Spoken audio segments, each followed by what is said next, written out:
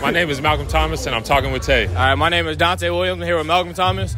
Malcolm, real quick, can you just tell me what your role is on this team as a centerpiece, the big man?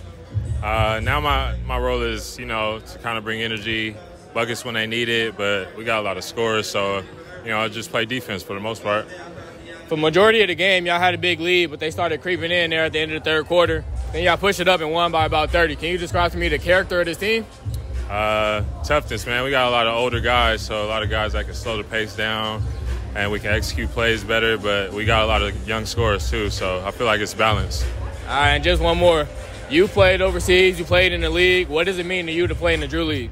Uh, the Drew is everything, man. It, it starts my season off, you know, with new confidence every year. Come play against other guys that play overseas and, and younger guys that are coming up. So it, it gives me a good confidence for the season.